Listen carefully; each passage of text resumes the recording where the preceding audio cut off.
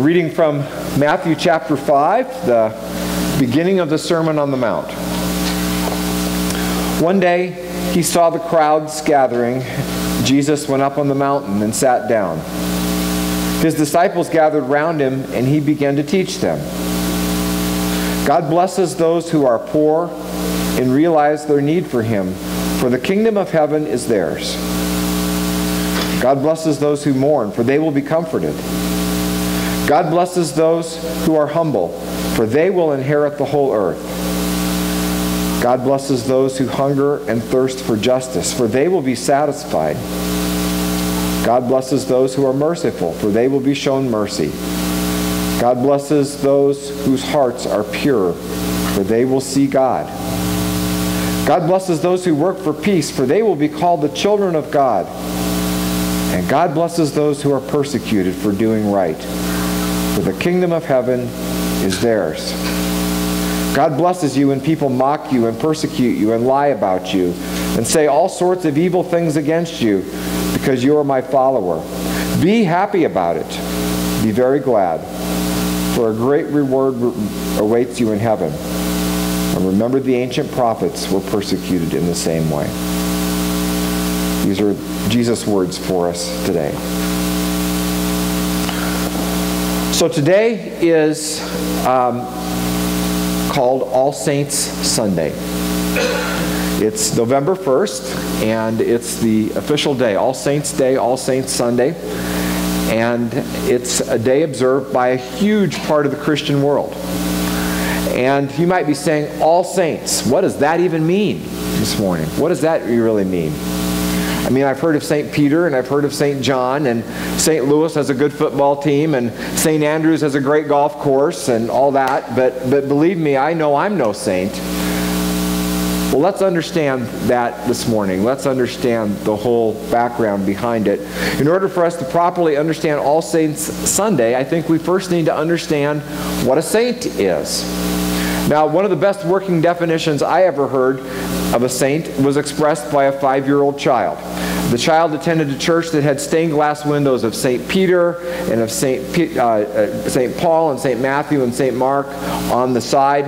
And every Sunday morning, the sunlight, you can just kind of picture it, would, would come through and it would shine and illumine and warm those who were sitting in the pews.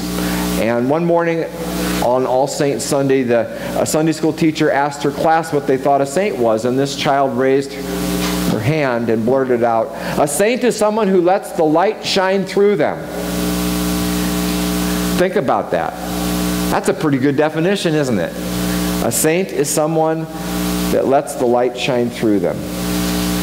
A saint, therefore, is anyone who lets the light of Jesus fill their life and then shine on to others. Now, a little history about All Saints' Day. It goes back to the second century, the very second century, when November 1st was marked as All Saints' Day. It's a day to remember Christians who had given their lives for the sake of sharing the gospel. Uh, lots of martyrdom in those days. And uh, although you and I don't really think we risk our lives every day for calling ourselves Christian, there were certainly times, and, and there are places today, we know very well, where people lose their earthly life for being called a Christian, for being for confessing Christ. The original intent of All Saints' Day was to thank God for the witness of these men and women who gave their lives so that the message of Jesus Christ could be boldly proclaimed in future generations. And therefore, the word saint became associated with people who others thought were sort of the all-star men and women, the all, all, all, all-star Christian men and women, the superstars.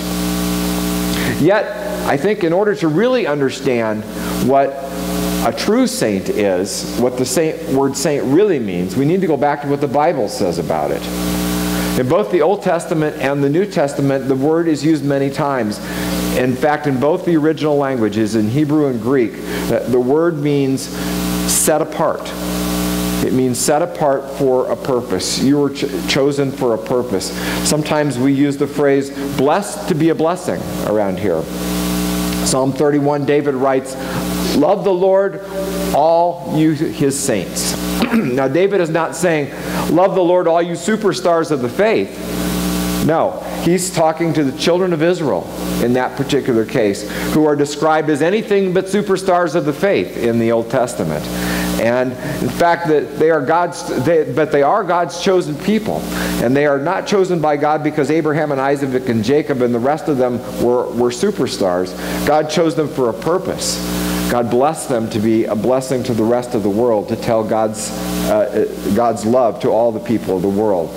And so in the New Testament, when we read the word saint, Paul begins many of his letters like the one to the like to the church in Ephesus, like, like this. To all the saints who are in Ephesus. And once again, uh, is he writing to just the Billy Grahams and the Mother Teresas of that day? No. He's writing to all the people in Ephesus who had trusted God. People in Ephesus who he later reminds us had been given the gift of grace. From Ephesians chapter 2, we read these words. He says, It's for by grace you have been saved through faith. This is not of your doings, but it's the gift of God, not the result of works, so that anyone may boast. For we are what he has made us, created in Christ Jesus for good works, which God prepared beforehand to be our way of life. Sometimes I like to use uh, acrostics to, re- to help explain important concepts. And uh, somebody gave me an acrostic for the word saint several years ago, and I think it's a really good one. Um, saints are simply saints acknowledging, I need the Savior. Sinners acknowledging, I need the Savior. So, who is a saint? Who is a saint? Well, you are. And I am. Yeah, figure that one out. That's a great thing. Anyone who acknowledges that we're sinners in need of Jesus Christ, our Savior, then we are saints. Now, the next question then is well, what does a saint do? I mean, what is a saint like? Well, uh, the first 12 verses of Matthew chapter 5, I think, were a great place to start on that. They're commonly known as the Beatitudes. Many of you have noticed, uh, heard, heard that word before. Matthew records these as Jesus' first teaching to the crowds when they were gathered on a, on a hillside by the Sea of Galilee. It's called the Sermon on the Mount. And Jesus began his ministry when there was this small group of men known as the religious elite in his day. They were the self they were the self-appointed superstars and they raised what I would call religiosity to an art form. They set the bar of spiritual expectation so high that it, it, the average Joe and Mary of that day would say, I could never be as good as they are. I, why even try? Why even try? In another passage, Jesus points out that these people love to pray in such a way so that everybody could see them and so that everybody would be impressed with their amazing prayers. They wanted others to see their religiousness. So here comes this Jesus who is from a very insignificant town, Nazareth, and very simple, poor, poorest of the poor parents, and yet people are talking about him. And then this prophet, John the Baptist, shows up and he baptizes Jesus, and the clouds part, and the, there's this voice from heaven, and it says, This is my son. Listen to him. Listen to him. And what's more, then Jesus is going around doing miracles. I mean, the deaf hear, the blind see, the lame walk, lepers are healed. There were, there were verifiable, true touches. He was causing quite a buzz. Who is this guy? Is he really the Son of God? And then Jesus began his teaching talking about establishing a kingdom, establishing the kingdom of God. People who would live under the direct rule and the guidance of God, of God's reign. People are asking, well, what are the rules to get into this kingdom? What are the qualifications? They must be so high. I mean, they must be even higher than those of the religious leaders of the day who have oppressed the people with heavy loads of guilt. They're expecting that when Jesus opens his mouth, they're going to fall even farther into guilt. But Jesus starts out his teaching with these amazing words.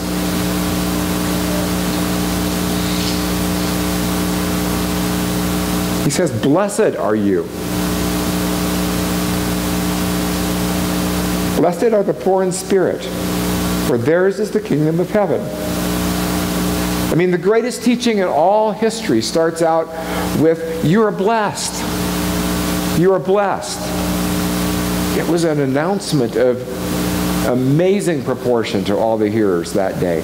God blesses those who realize their need for Him, for the kingdom of God will be given to them. And then Jesus goes on to identify sort of two separate groups that were in the crowd today, eh, that day. He said, first of all, there's the poor in spirit, and then there's the, the rich in spirit. And the so called rich in spirit, he was referring to the leaders who believed that they were rich in knowledge, they were rich in outward performance, they were rich in spiritual activity. They were self made folks who, who, who certainly did not anything, need anything that came from this this, uh, this obscure traveling rabbi from insignificant Nazareth. They were, then there were the poor in spirit. Those who knew they were not members of that re- religious elite group. Those who knew that they fell short. Those who knew that their spiritual net worth was in the red, literally. And yet Jesus seemed to be saying, you know what? I have good news for you. I have good news to you. When you understand that your spiritual assets fall far short of your spiritual liabilities, Jesus announced to this group the doors of God's kingdom are wide open for you. Come on in. Come on in. You're a saint. You're a saint. You're a sinner acknowledging, I need the Savior. So, what are saints like? Well, I think saints are simple. That's one word I would use to describe a saint. They have a simple faith. Simple faith. This year, our Beyond class, um, we have St. Andrew, St. Drew, St. Sam, St. August, St. Eric, and St. Henry. A bunch of 8th and ninth grade boys. And you might be saying, hey, wait a minute, I know those guys. I know those guys, and they're no saints. There are no saints, no way, no how. And yet, Jesus said, I went to the cross for each of them. I went for the cross for each of us. Each of us. None of us are perfect. But the, the verse we just read, it said it's by grace, God's unearnable gift of love and forgiveness that we're saved by faith. Now, true, a child's understanding, a young man, a young woman's understanding of God's love is, is very limited, yet they understand a whole lot more than you think they do, number one. And number two, the more I realize every day, I realize how much I have to learn about how big and how great God's love is. In Matthew 18, one of Jesus' strongest rebukes for the disciples came when they attempted to keep the children from coming to him. Remember that passage? And uh, Jesus told them that all of us must have trusting faith like a child to enter the kingdom of God. True. They don't have a big book of accomplishments. But that's not what God said is necessary. See, here's the truth about those guys and here's the truth about you, and here's the truth about me. God has a plan for the rest of our lives, and if we trust Jesus, He's going to do some amazing things through us. God only knows the potential, the potential of, of St. Harry, and of St. David, and of St. Laurie, and Ted, and St.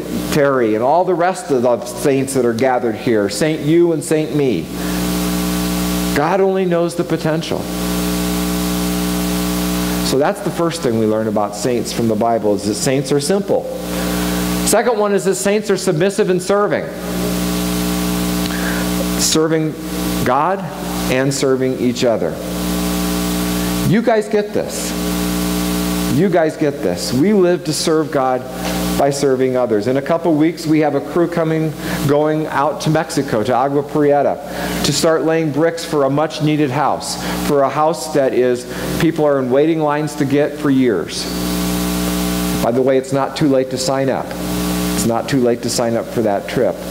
Next week, Lori talked about it this morning. There's so much work to get ready to do to pack shoe boxes for, for the poorest of the poor children. I thought that was an amazing video up there this morning. This is not just a shoebox. This is God's word coming to people, and it's the, it's, it's the opportunity to share God's word in an extended time. So if you could help every evening, one evening, that would be fantastic. You see, Jesus taught that unless we humble ourselves, unless we submit ourselves to the Spirit's leadership, unless we do what He did and become a servant, we're missing the life that He wants for each and every single one of us. Matthew 20, Jesus reminds us whoever wishes to be great among you must be your servant. And servant is one of the most humbling acts we can do. And Jesus said, Humbling is great. It's the greatest to learn to be a servant. So build a house in Mexico. Serve some meals to the hungry. Uh, go to the Chris Becker dining room later today. Pack a shoebox. Volunteer to help. See where God can use you. Another thing we see from Scripture as well as from the world today saints suffer for their faith. Saints suffer for their faith. Today is the National Day of Prayer for the persecuted church. It's the National Day of Prayer for the persecuted church. And we cannot forget that Christians and others are being persecuted at the hands of ISIS and other violent regimes in our world today. This kind of behavior, obviously, is just absolutely reprehensible. And at times we feel powerless by ourselves. But Jesus said, not only in the Beatitudes, but in John 16, he said, I've told you these things so that you may have peace. In this world you will have trouble, but take heart. He said, I have overcome the world. Many of us, the whole congregation, followed the story of Kayla Mueller this last year from Prescott. Uh, some of us knew people that knew her very, very, very well it's the real stories of real people. It's easy to become very disappointed that not more was done and that not more is being done for others who are in those situations. And frankly, folks, that's where prayer comes in, doesn't it? That's where prayer comes in. We believe that prayer is the most powerful way, the most powerful way for saints to invoke the strength and the wisdom of the Lord so that the hearts and minds of the terrorists can be turned so that the leaders are able to make appropriate action, take appropriate action. Most of us are action people and we know we exactly what we would do. But please know that prayer is the most powerful thing you can do. Prayer is the most powerful thing that you can I can do. Now, if you would like to, to have a, a list of people to pray for, there's a website called uh, www.icommittopray.com. It's on the, on the screen there for you. That you could go and find a list of people from the Voice, Voice of the Martyrs website to pray for. And if you want to write a letter to a government like we've done in the past years, people that are governments that are holding hostages, please use this website www.prisoneralert.com. A story came out uh, uh, through a source I have. Uh, it's about Pastor Ghassan Thomas, is a pastor of a Christian and Missionary Alliance church in Iraq. Uh, his church emerged after Saddam Hussein was dethroned in, two, in 2003. And as they started to worship, the people erected a sign on their small building that said, Jesus is the light of the world. Jesus is the light of the world. The church, shortly after, was raided by bandits who left behind a threat on a piece of cardboard that read, Jesus is not the light, Allah is the light, and you have been warned. You have been warned. Pastor, Pastor Ghassan and the congregation were afraid, but they found the courage to respond to this threat in love. So they loaded a van with children's gifts and with medical supplies, which were in very short supply and they drove to the headquarters of the Islamic Shiite party. And after pre- presenting these gifts, the Ghassan told the sheik, uh, Christians have love for you because our God is a God of love. And he read Jesus' words to them in John chapter 8, where Jesus said, I am the light of the world. And he showed the sheik the threatening note that was left at the church. Muslim leader was taken back and astounded by the courage of this, of, of, of this small group of Christians. And he said to them, This will never happen again, referring to the note.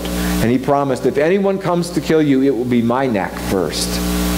And the sheik later attended Pastor Thomas's ordination service at the church.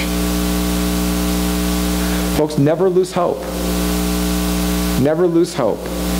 In the midst of the storm, there's always hope when our trust is in the one who conquered death itself. There's always a reason to hope. And that leads us to our final description of what saints are. Saints are sure. S U R E. They are sure. Sure of what comes next. We may not know all the details, but we know who does, and that's good enough for us. When the life of one of our saints, these saints on earth, one of us ends on earth, we, we gather to celebrate their life often. Those who have now joined with the communion of saints who are celebrating from a different vantage point. I mentioned last week that November 13th we're going to celebrate the life of St. Joanne, St. Joanne Moeller. We had the privilege of walking with her on earth for many years. And when she was with us, she was busy. She was busy praying and doing and loving and letting her light shine here on earth so that others could see Jesus through her. Joanne is a saint by the death and resurrection of Jesus. And she was sure that on this earth she walked by faith. And when her time was done, she was sure of her future with Jesus. I had the privilege of sitting with Bill and Joanne in their living room, in their, in their, in their home, and talking about this very thing. And we read from the scriptures in John chapter 14, 2, verses like this There are many rooms in my Father's house. I'm going to prepare a place for you. If it were not so, I would tell you plainly. There's an old spiritual song, uh, many of you know it. It's called When the Saints Go Marching In. When the Saints Go Marching In. Well, Joanne and others are marching in. They're marching in through faith in Jesus. And we can be sure that we'll be marching in, joining Joanne and all the rest of the saints that God has used to inspire us, to inspire us now and forever.